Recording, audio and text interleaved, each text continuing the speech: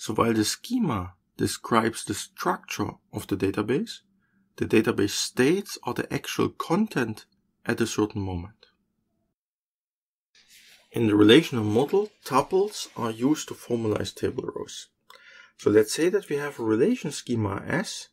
So we have an attribute A1 that ranges over domain D1, attribute A2 over domain D2, and so on.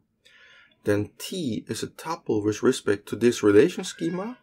If T is a sequence of n values, such that the first value is from the domain D1, the second value is from the domain D2, and so on. So an example of such a tuple is the tuple exam1 SQL14. This is a tuple in the relation exercises. And if you have such a tuple and we have a name of an attribute AI, then we write t.ai for the value of this tuple in the column AI. So for example, looking at this tuple exam1 SQL14, if we write dot topic, then this is the value of the column topic referring to SQL. So this is SQL.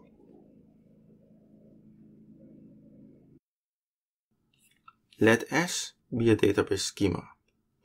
So it consists of a set of relation names and for every relation name a relation schema.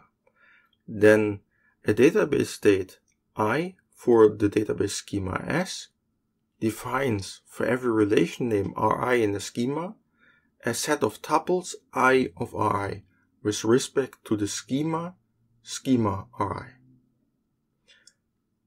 So in other words, if we have that the schema of I is attribute A1 over domain D1, attribute AN over the domain DN, then this set of tuples I of I is a subset of the cross product of the domains D1, D2, D3 up to Dn. So I of Ri is a relation in the mathematical sense.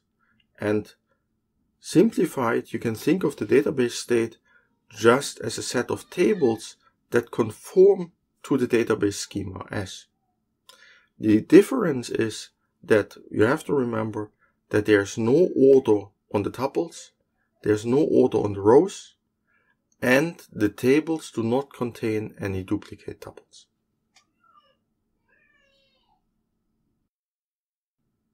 So to summarize the structure of databases, every database consists of a number of relations.